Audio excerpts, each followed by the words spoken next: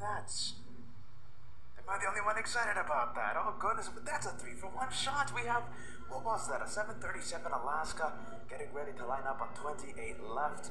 Little Avianca on the left hand side of your screen flying in from San Salvador, and on the right side of your screen, a JetBlue A320 flying in from Fort Lauderdale. And look who we have right next to us. A couple of RB211s Rolls getting Royce. ready to leave. Rolls Royce powered 757 powering up in just a few moments. Let's turn on the radios. Let's see what they are telling that 75.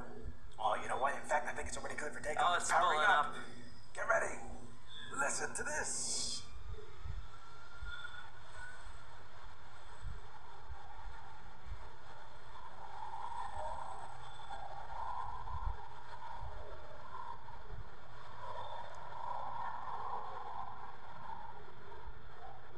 The growl. The The growl. growl. the Rolls Royce engines. You can hear the vibration. You can feel the vibrations of that takeoff.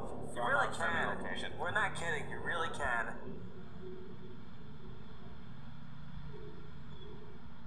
This is already shaping up to be an amazing day. This has been an amazing week for LA Flash Live. That's 757. Let's get a take a look at the flight information. This one flying to Dulles, Washington. Uh, that one was United Airlines 596. A flying pencil, the pencil plane here at the LA Flight Show.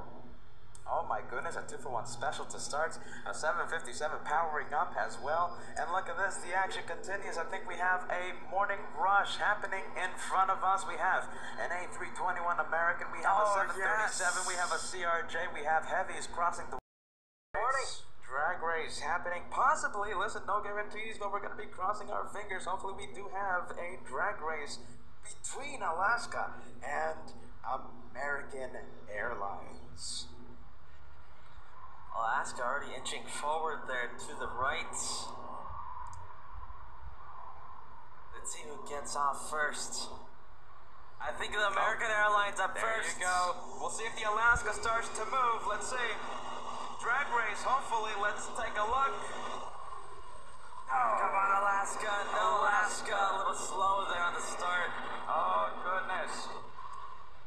Fact, Alaska is getting a move on right now. A little too late off the line. We'll stay with American.